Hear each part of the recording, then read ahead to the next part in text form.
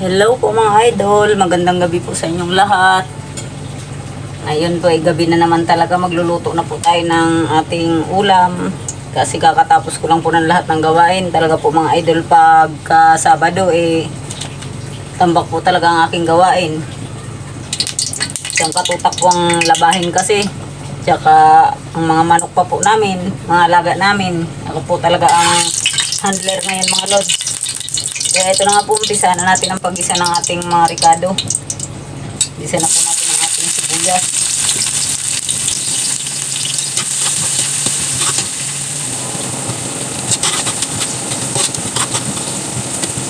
Ano?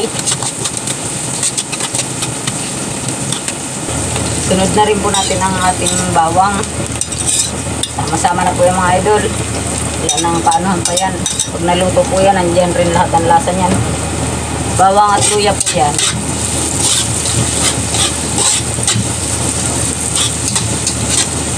Igisa lang po natin hanggang sa lumabas ang kanyang amoy. Ang kanyang aroma. Ang bango po ng ricado.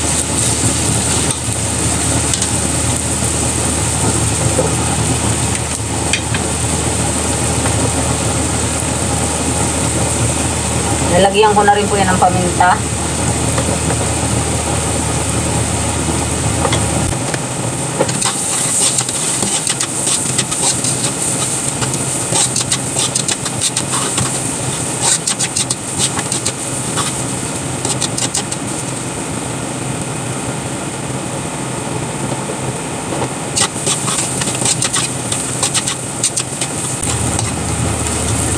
Ganito pong mabango na igisa na natin dyan ang ulo ng hipon. Bumili lang po ako mga lads ng 1 4 na hipon. Kasi ito pong ulam na to eh request ng aking panganay na anak. Paborito po kasi nila tong ulam na to kaya kahit napakamahal po ng hipon eh, kailangan natin bumili kahit konti. Para lang po maging okay na yung cravings nila sa kanilang mga hinahanap na mga ulam-ulam Ganyan po dito sa amin mga lods. Pag may naalalang ulam mga aking mga anak na gusto nila, pinapaluto po talaga nila. Kaya kahit na po may kabigatan talaga sa bulsa ang presyo ng hipon dito, eh kailangan po nating lutuin. Nandito rin po kasi mga idol talaga ang lasa sa ulo ng hipon eh, kaya sayang pong itapon yan. Isa po natin yan dyan. At ilagay ko na rin po ang ano niyan, laman ng hipon. Yan po ay hiniwa-hiwa ko ng maliliit mga lods.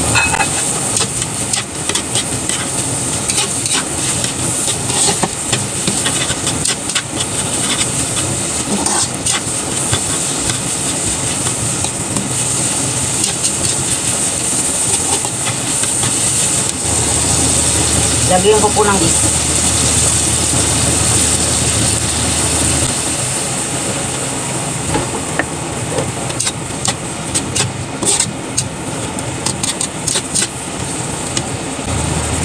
Ilalagay ko na rin po dyan yung buko na aking binili.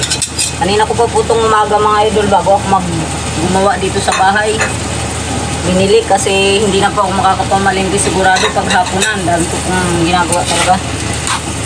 Inaabot ko ako ng gabi. Ayan po, igisa lang po natin dyan ang buko na parang medyo kasama pa yung mga bao sa pagkakayod.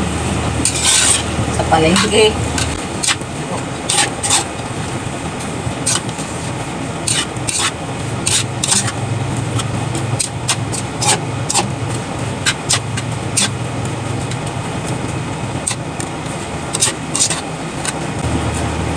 At lalagyan po natin yan ng sabaw. Kunti lang po.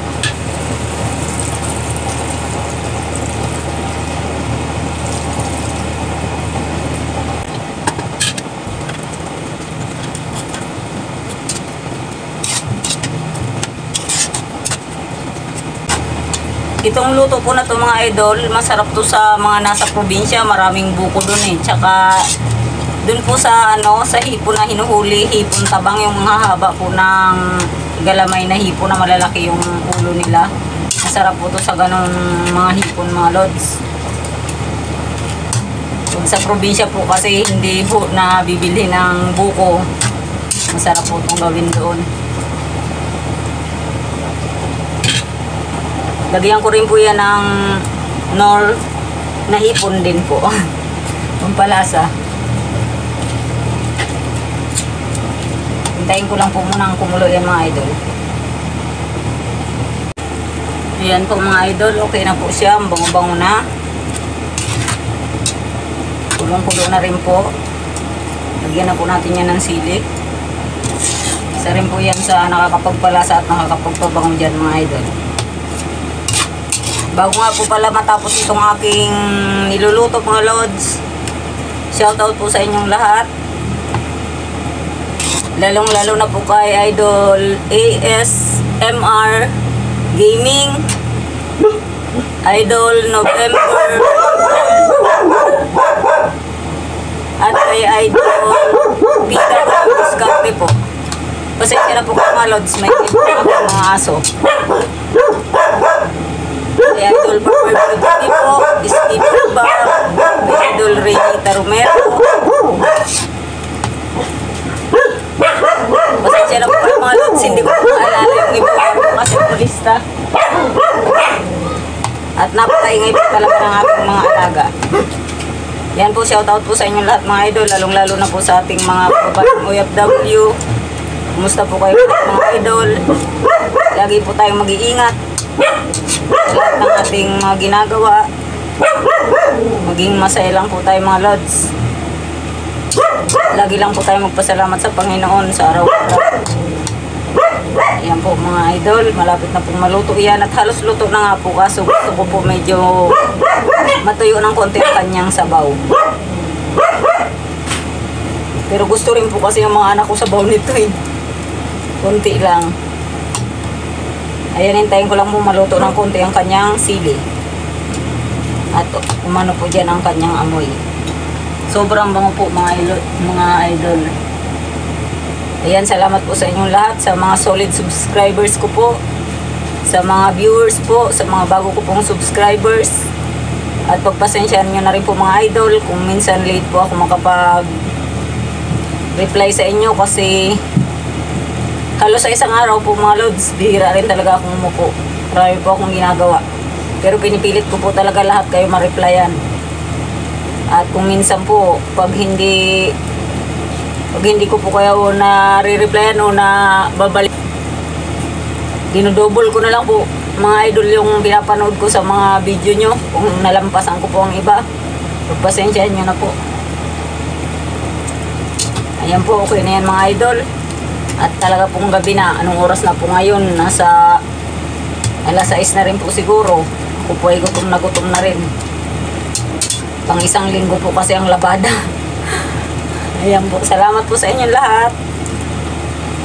Have a blessed day po.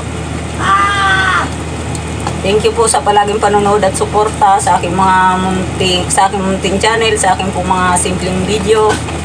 Maraming maraming salamat po sa inyo mga, lahat mga idol. Kain po tayo. Magandang gabi po.